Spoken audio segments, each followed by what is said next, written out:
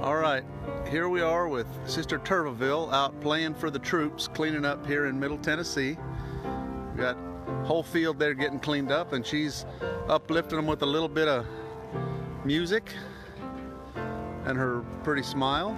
So we'll go up here and get her to say hi to the crowd of people.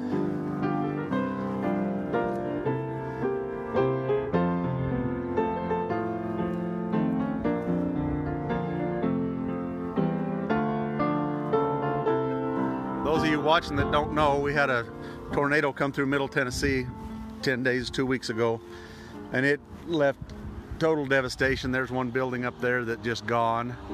Uh, but we have our Helping Hands crew from the church out here cleaning up. They've done a heck of a job getting all the trash out of these fields.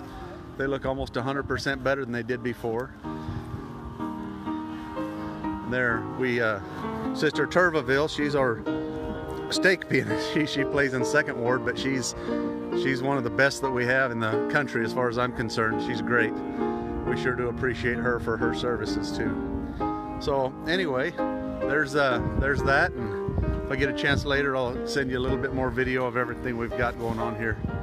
There's a American flag for y'all to end this end this video with.